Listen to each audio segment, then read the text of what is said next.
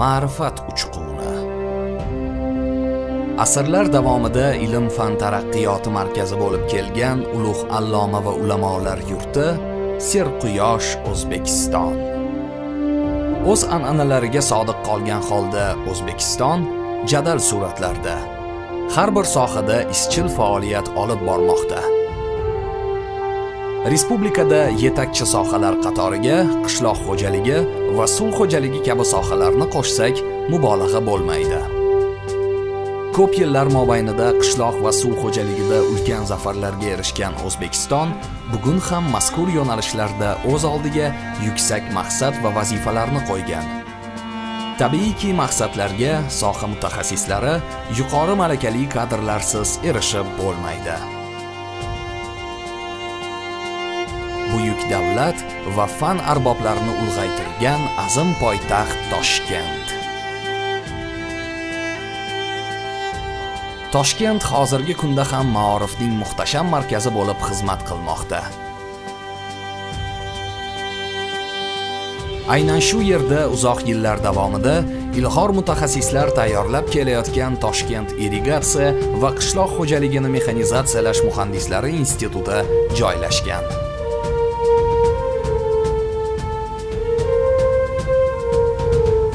1923 yil. Turkiston davlat universiteti texnika fakultetining gidrotexnika bo'limi negizida melioratsiya muhandisligi fakulteti tashkil topdi. Aynan shu voqea toshkent irrigatsiya va qishloq xo'jaligini mexanizatsiyalash muhandislari institutining vujudga kelishini boshlab bergan muhim tarixiy voqea bo'ldi. 1929 yili melioratsiya muhandisligi fakulteti negizida mexanika qurilishi va suv xo'jaligi fakultetlari ochilib o'rta osiyo paxtachilik irrigatsiya politexnika instituti tashkil etildi. Shu davrda o'rta osiyo respublikalarida yer suv islohotining amalga oshirilishi yaxlit oliy o'quv muassasasining tuzilishini taqozo etgan. Natijada O'rta Osiyo irrigatsiya muhandislari va texniklari instituti O'rta Osiyo qishloq xo'jaligini irrigatsiyalash va mexanizatsiyalash muhandislari instituti nomi bilan birlashtirildi va 1934-yil 11-noyabrda Toshkent irrigatsiya va qishloq xo'jaligini mexanizatsiyalash muhandislari institutiga aylantirildi.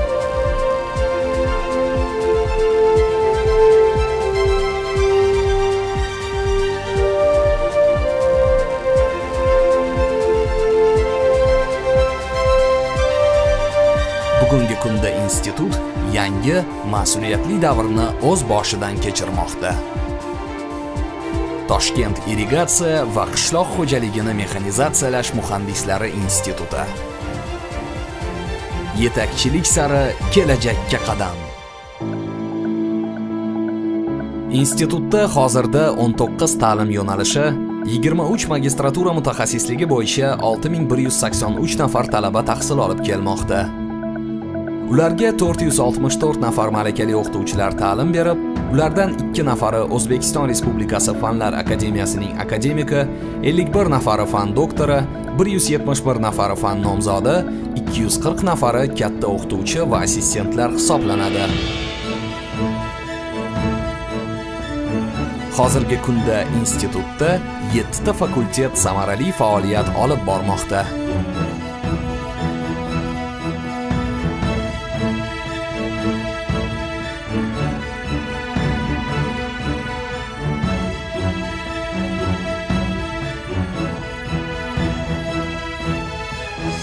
Toshkent irrigatsiya va qishloq xo'jaligini mexanizatsiyalash muhandislari instituti 5 ta o'quv bino, 2 ta o'quv laboratoriya binosi va 3 ta o'quv ilmiy markaziga ega.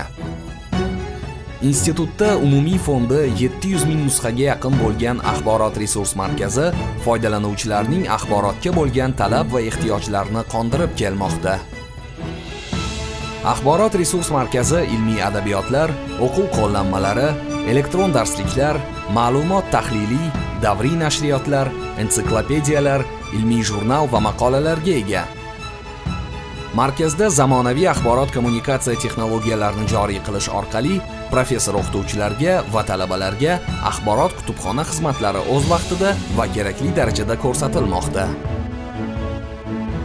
Foydalanuvchilarga qulaylik yaratish maqsadida institut elektron kutubxonasi, elektron katalogi kabi bir necha ma'lumot bazalari xizmati yo'lga qo'yilgan.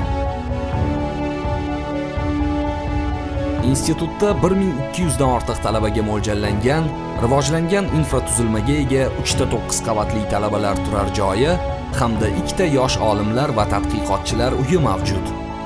Talabalar turar joylari yangilangan moddiy texnik baza va axborot resurs markazi bo'limlari bilan ta'minlangan hamda turar joylarda sportning 3 turi bo'yicha to'garaklar faoliyati ham yo'lga qo'yilgan.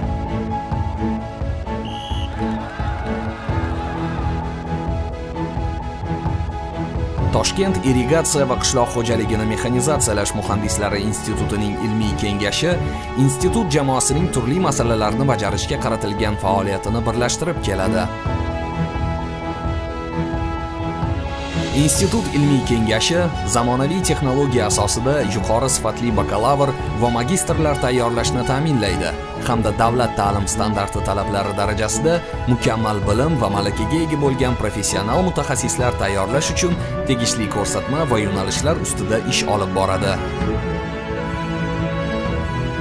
Institut tarkibida ta'lim sifatini nazorat qilish bo'limi tashkil etilgan. Talabalar bilimlarni tahlil qilish, kadrlar tayyorlash sifati monitoringini yuritish kabi maqsadlarni o'z oldiga qo'ygan ta'lim sifatini nazorat qilish bo'limi ta'lim darajasiga salbiy ta'sir etuvchi omillarni aniqlash hamda ularni bartaraf etish choralarini ko'rib keladi.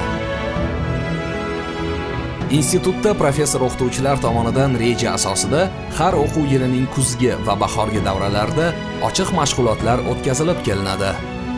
Ochiq mashg'ulotlarning o'tkazilishidan ko'zlangan maqsad talabalar zamonaviy usullarda sifatli bilim olishlari uchun innovatsion va texnologik g'oyalar bilan fikr almashadigan muloqot muhokama maydoni yaratish. Ochiq mashg'ulotlarda nafaqat professor o'qituvchilar va talabalar, balki yosh olimlar, soha mutaxassislari va sohaga qiziquvchilar ham ishtirok etadi.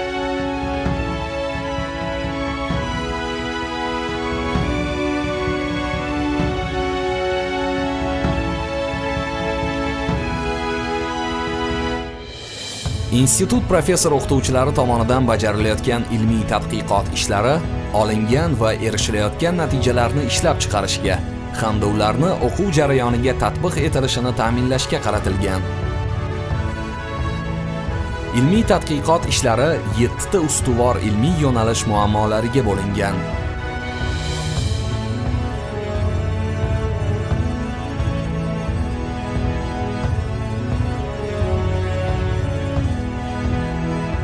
Olib borilgan ilmiy tadqiqot ishlari natijalari bo'yicha institut olimlari tomonidan oxirgi 2 yilda 2800 dan ortiq ilmiy ishlar, shu jumladan 32 ta monografiya, xorijiy ilmiy jurnallarda 236 ta maqola, respublika ilmiy jurnallarida 261 ta, konferensiyalar to'plamlarida 1500 dan ortiq maqolalar chop etilgan.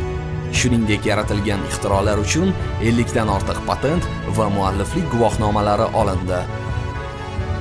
Natijalarni ishlab chiqarishga joriy qilish bo'yicha 80 dan ortiq tavsiya va dalolatnomalar himoya qilingan. Olib borilgan ishlar natijasida so'nggi 2 yilda 33 ta fan doktori, falsafa doktori ilmiy darajasidagi dissertatsiya ishlari muvaffaqiyatli himoya qilindi.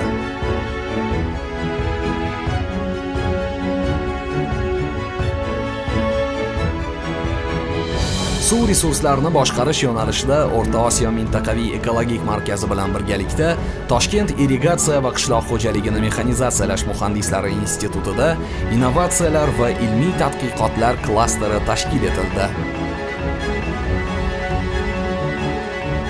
Ushbu klasterda iqtidorli talabalar va yosh olimlarning ilmiy faoliyatlari qo'llab-quvvatlanib, nafaqat O'zbekiston yoshlari, balki O'rta Osiyo mamlakatlari va Afg'oniston yoshlariga ham e'tibor qaratilishi ko'zda tutilgan. Bugungi kunda institut xalqaro hamkorlik doirasida bir qator dasturlarni muvaffaqiyatli amalga oshirib kelmoqda. Hozirda xorijiy hamkorlar bilan tuzilgan va ayni paytda amalda bo'lgan kelishuv, shartnoma va memorandumlar soni 73 tani tashkil etmoqda. 2017-2018 yillar davomida 34 ta xalqaro kelishuv imzolandi.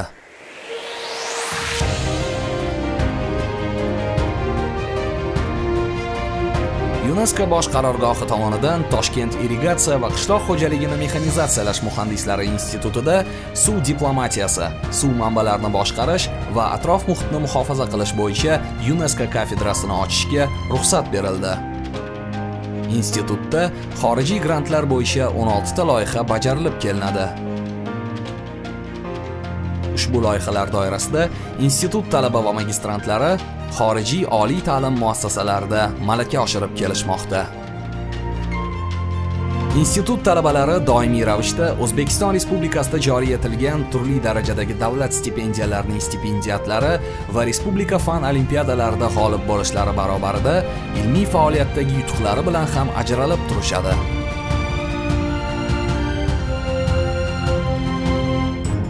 Institutning madaniyat saroyi qoshida talabalarning bo'sh vaqtlarini samarali o'tkazish maqsadida 5 ta badiiy ijodiy to'garak tashkil etilgan. Quvnoqlar va zukkolar talabalar teatr studiyasi milliy va zamonaviy raqs suxandonlik hamda vokal to'garaklari institut talabalari uchun ijod maydoni bo'lib xizmat qilmoqda. 2018 yilning sentyabr oyida foydalanishga topshirilgan institutning yangi sport kompleksida futbol, voleybol, yengil atletika, badminton kabi sport o'yinlari uchun barcha qulayliklar yaratildi. Toshkent muzeylari, teatr hamda boshqa madaniy muassasalari bilan tuzilgan shartnomalar orqali institut talabalari hamda professor o'qituvchilarning tashriflari amalga oshirilib kelinadi. O'zining shonli o'tmishiga ega Toshkent irrigatsiya va qishloq xo'jaligini mexanizatsiyalash muhandislari instituti O'rta Osiyo va sobiq ittifoq respublikalari uchun ko'plab oliy malakali kadrlar tayyorlab bergan.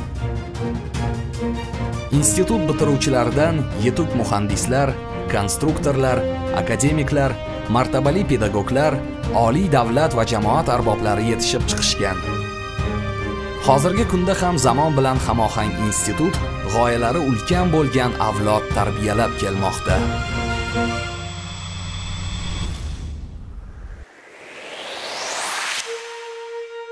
soha yo'nalishlari bo'yicha global miqyosda kommunikatsiya maydoni yaratilishi ustida olib borilayotgan ishlar erkin intellektual fikrlashuv va keng axborot almashinuviga mo'ljallangan hayotning yangi sahifalarini biz bilan yozing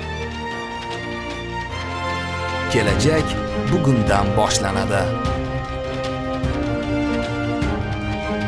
Biz bilan yetakchilik sari kelajakka qadam qo'ying.